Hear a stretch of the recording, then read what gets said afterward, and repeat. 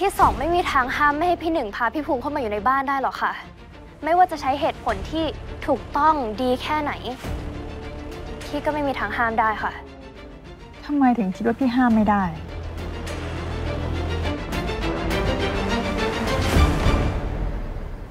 พี่สองคะพี่สองอย่าโกรธน้องเล็กนะคะ ที่เห็นด้วยกับพี่หนึ่งอะ พี่ไม่ได้โกรธ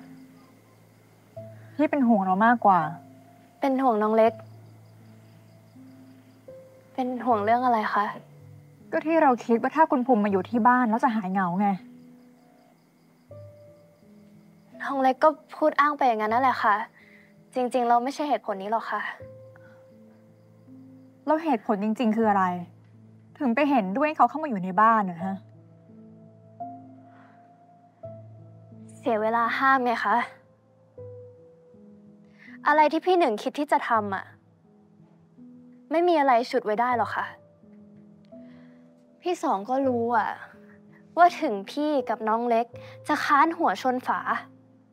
พี่หนึ่งก็ยังจะใช้อำนาจ เอาชนะพาพี่ภูมิเข้ามาอยู่ในบ้านอยู่ดีอะแล้วเรื่องอะไรเราสามพี่น้องจะต้องมาทะเลาะแตกคอกันเองเพราะเรื่องแค่นี้ด้วยค่ะ ยอมยอมพี่หนึ่งไปค่ะ จะได้ไม่มีปัญหา น้องเล็ก การที่ผู้ชายคนหนึ่งก้าวเข้ามาอยู่ในบ้านร่วมกับเราเนาะมันไม่ใช่เรื่องแค่นี้นะ มันเรื่องใหญ่สำหรับพี่ รู้ค่ะ น้องเล็กรู้ว่าพี่สองรู้สึกยังไง แต่พี่สองไม่มีทางห้ามไม่ให้พี่หนึ่งพาพี่ภูมิเข้ามาอยู่ในบ้านได้หรอกค่ะ ไม่ว่าจะใช้เหตุผลที่ถูกต้องดีแค่ไหน พี่ก็ไม่มีทางห้ามได้ค่ะ ทำไมถึงคิดว่าพี่ห้ามไม่ได้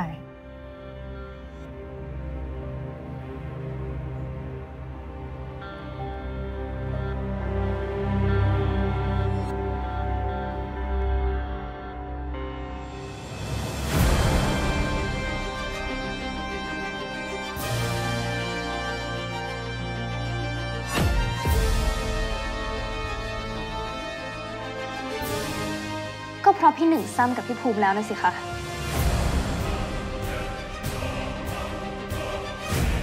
เขาฟาดกันแล้ว เขามีอะไรกันแล้วเผด็จการอย่างพี่หนึ่ง ไม่มีทางยอมเสียอะไรฟรีๆหรอก พี่หนึ่งเลยรวบหัวรวบหางพี่ภูมิ เข้ามาอยู่ใต้ปีกซะเลย